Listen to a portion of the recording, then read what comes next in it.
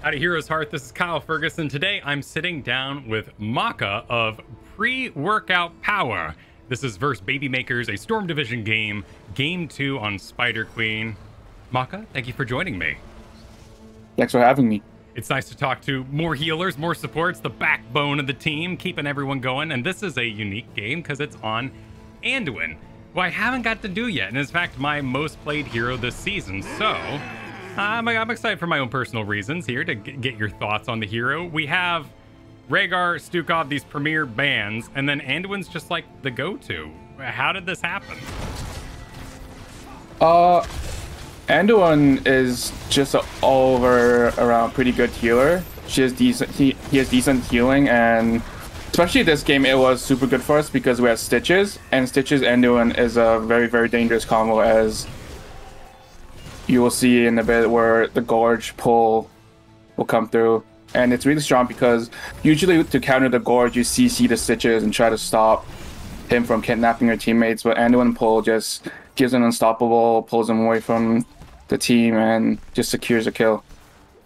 Oh, so th that's not a meme thing. That That is 100% worth a... What is this? A, a 70 second cooldown? I guess Gorge is pretty long. Yeah, it's definitely a really viable combo as it's you can see these uh, this combo being picked in in houses or like or like high GM games as well. It's really just really hard to counter. Usually, biggest Stitches counter would be something like the Anub'arak, where whenever Stitches gets a gorge, you just cocoon the target or gets on top of him and stun him. But Anduin just totally denies that. Do you remember where in the draft you picked up Anduin here? Because the Anub'arak is on the enemy side. Uh, I would assume it with the stitches or after the stitches. Yeah. I don't remember, but no worries, no worries. It would be like that. So there we saw you do a little double rotate with the uh, Tychus there in order to get the camp. The rest of the team showed up because they were basically pushed out. Blaze way down in the solo lane, not going to be taking any camps. What is Anduin's role without the stitches? Like, why why pick Anduin over other healers? Uh, definitely Anduin's biggest talking point is his trait. His healing is, I would say, lower than lower than average, and his CC is his follow up is just a route that's pretty slow and it's not that reliable. But his pull is definitely the strongest part of his kit. It really denies a win condition on some against against certain comps. And like I said, in this comp with Stitches, it creates our own win con. So usually you pick Anduin just purely for his trait. It does seem like a powerful bit of CC though, as as CCs have been contested, as bruisers have kind of taken over the role of tanks in some meta. Anduin came in with just a root uh, nothing too fancy about it other than it's slow. Compared to Malfurion, it seems a very effective CC. Yeah, Malfurion would be a way stronger follow-up healer and also heals, I would say maybe 30-40% more than Anduin would, usually. So we got some but, talents coming in here, and at level 1, you picked up the Even-Handed Blessing. I see a lot of Lightwell, so tell me about Even-Handed Blessing. Even-Handed Blessing is just compared to the other two talents, the most consistent one. And also, so it is more consistent than Lightwell because Lightwell forces your teammate to group up or they have to stand in the Lightwell for a certain amount of time. And its cooldown is also relatively long. But even-handed blessings just I think I didn't do the math exactly, but I think it doubles your Q healing basically if you keep like healing different targets and it definitely heals more than or gives more healing or protection than the W at level one as well. And we see this little graphic here for those not in the know where you have a, a light ball, which is basically noting who hasn't been healed last time. Yep.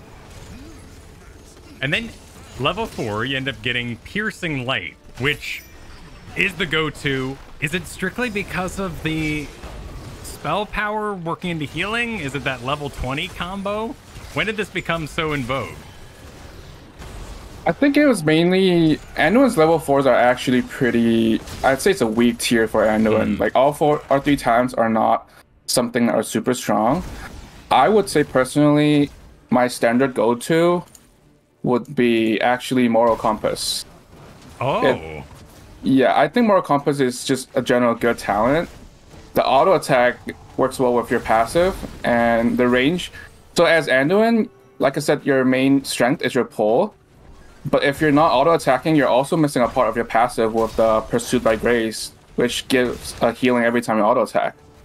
But at the same time, you don't want to be always be in range because you want to pull your allies to safety, and the attack range actually gives you more of a space for you to pull your teammates and also weave in some auto attacks. Wait. But this game I went piercing because the enemy team basically has four melee characters, and it would be easy for him to get value out of that. I had no idea. Was this a bacon after release? When did Pursued by Grace become a a trait? I, I didn't even know this text was here. I think it might be after the rework, but I am not too sure. Like the mini rework where they moved around his talents around. So that's an interesting risk reward kind of playstyle because so much of what you're up to is staying in the proper position because if you grab somebody with leap of faith, you have to make sure you're in a good position so they end up in a good position. So auto attacking seems really dangerous. Yeah, exactly. So most of the time you still don't want to auto attack, but when you're allowed to, it can make a difference. And those two talons there, and the one you talked about, Moral Compass, shoots out an auto attack at the end of the Divine Star, giving you that little bit of healed by people chilling by you. That's wild. And the attack range actually maybe get out some auto attacks. I can't believe I never knew about this. Well, I guess it is tiny healing, but it all adds up, right? And you were mentioning that Anduin doesn't do a ton of healing in the first place between cooldowns and all that, so that's a great way to augment him. Exactly. Level 7, you got Desperate Prayer. Activate to instantly heal an allied hero for 555 at level 10, uh, but kneel for 2 seconds, unable to act. Uh, I think Desperate Prayer is also the standard talent for this tier. It's just a like a mini burst heal, and it, it also helps with the fact that Anduin's healing numbers are pretty low, so that helps with keeping your teammates up or saving them from danger. And the other two are just not as impressive in most cases. Sometimes I go Blessed Recovery when you're against comps where you know you'll be jumped on most of the time, like maybe on maps like Curse where you don't have the walls behind you all the time and you're against like Genji, Muradin, and it always gets value. I would sometimes take that over it, but Desperate Prayer is just helps cover up Anduin's low healing numbers. What about something like a long range poke, like maybe Azmodan or Chromie? Would Blessed Beco- Recovery be the choice there, or are you just not pressured, therefore another talent is better? I still think in that case, uh, Desperate Prayer is better because for sustained heal, your level one actually does really well for a sustained healing. So level seven is there to cover like the burst heal. Are you talking much in the comms here, or are you on Anduin more responsive? Uh, mainly I'm just calling out uh, light bombs. Uh, but yeah, mostly Anduin's drops is more responsive. Like you pull after you see the gorge, you pull when you see someone's in danger. The only main thing you need to call out is yeah the light bomb. Even your root is just mo- mainly a follow up. You can see this game a lot of times. I just root to follow up the hook. Like I don't really look for active roots as it's slow, it's not reliable, and you have to walk up. So the root is mainly just also a reactive tool or to counter engage as well. So are so you're basically trusting your stitches to get the hook and firing a root where something might happen, whether or not Yeah. does. That's You fascinating. basically have to trust the hook. So if yeah. he throws a hook, you just launches it. If it doesn't, then basically your root will be up back on uh, back, uh, back off CD when the hook is back up again as well. So what's the What's kind of the value equation in your mind for a good light bomb? Is it just like here you have kind of this dive enemy team? There's a Anub'arak, Dehaka's buzzing around, Maiev's going in, Rehgar. Just stun as many people as possible, or is there something else you're looking for with the shielding?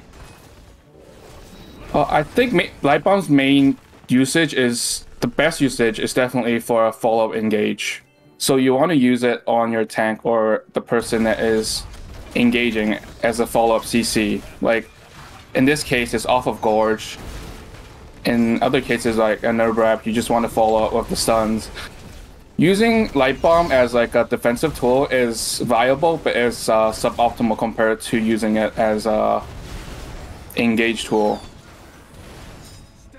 Since you only get the shield if it stuns someone, but if you're using it using it to keep someone alive, they could just walk out of it and they don't get the shield. You wasted your ultimate but as an engage tool, if someone's stunned and you could follow up with the light bomb stun, then it just gets its full value. It gets the shield, you get the stun, you get the damage. So in that situation, you had light bomb available, but you chose to full Kael'thas instead because that's just what was going to happen. Uh, be more effective in the first place. So that was the suboptimal version of uh, like light bomb usage, where I used to save Tychus. Mm.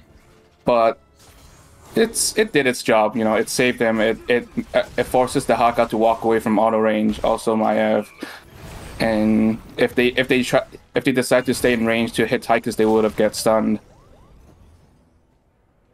So as the game so develops here, has yeah, has Anduin become weaker? Are there more things you're afraid of on the enemy side, or are you starting to move with more confidence and position aggressively?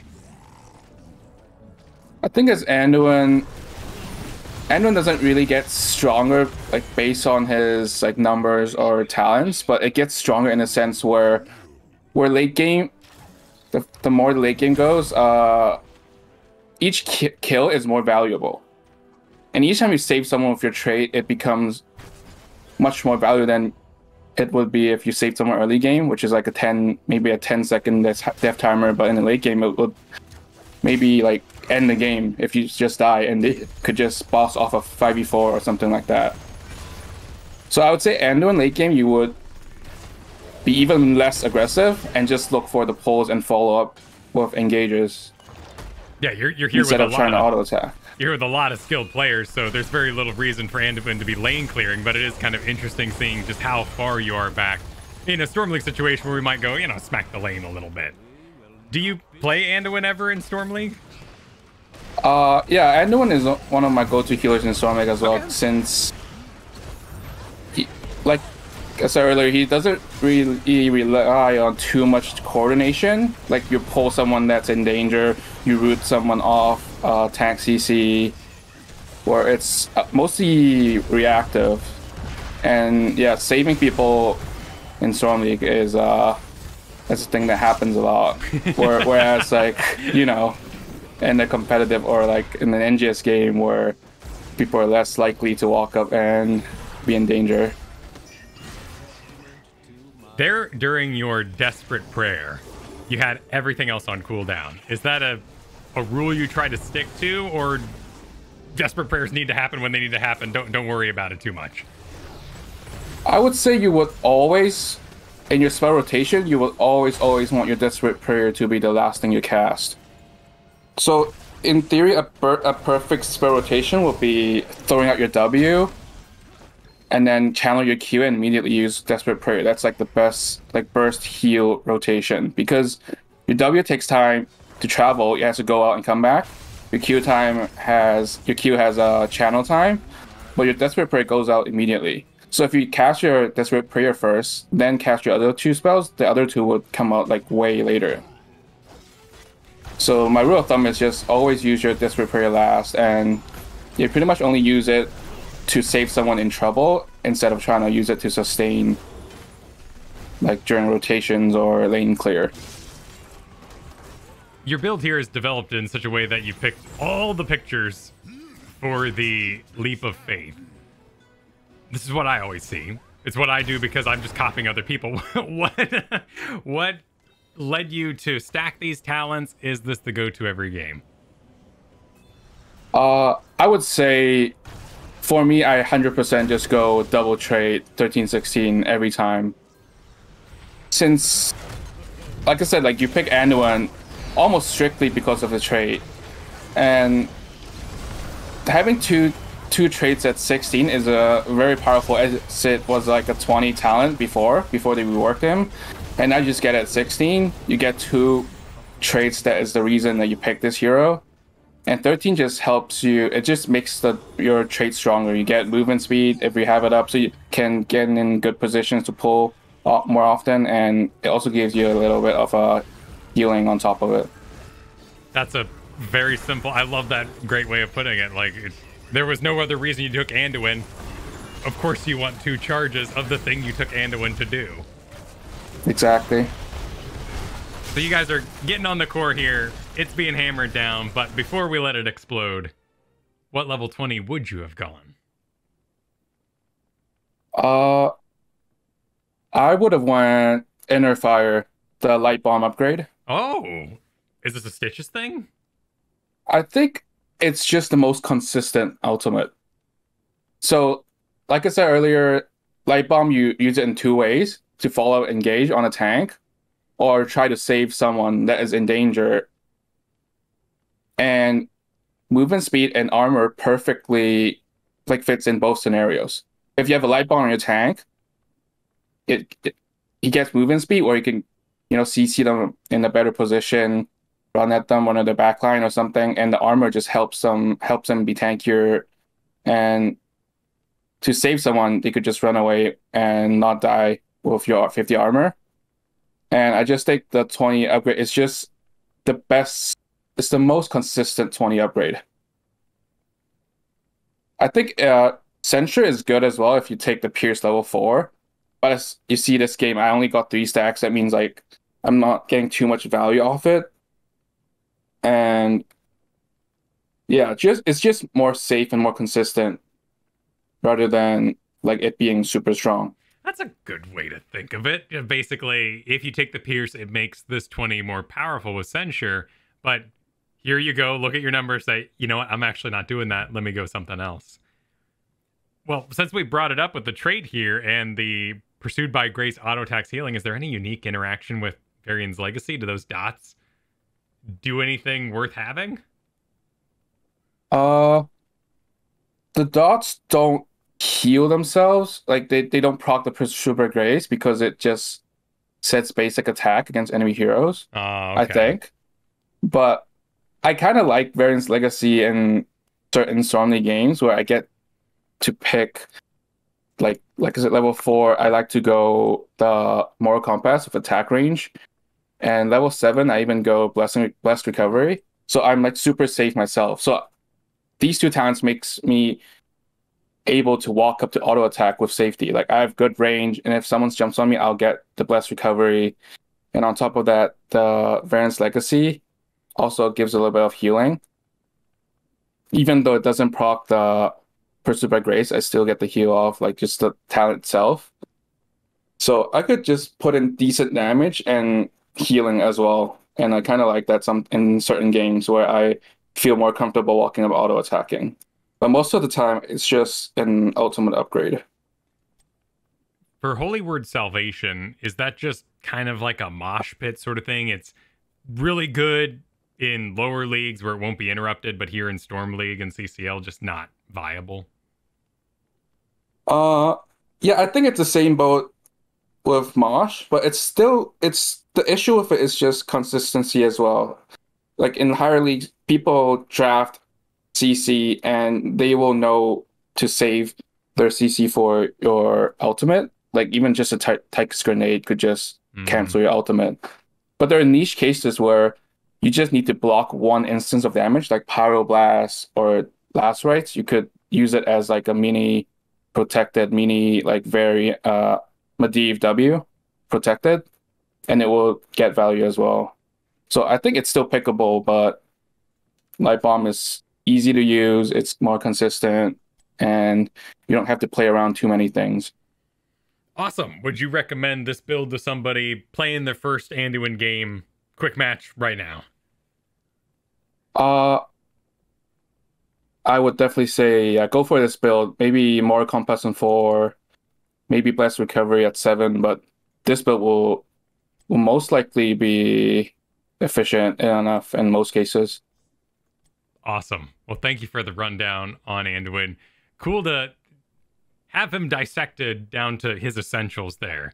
I appreciate you joining me. Everybody watching here on Heroes Hearth, be sure to like, subscribe, ring the bell. More Learn to Play Heroes of the Storm content is on its way. And of course, that's season four of the CCL.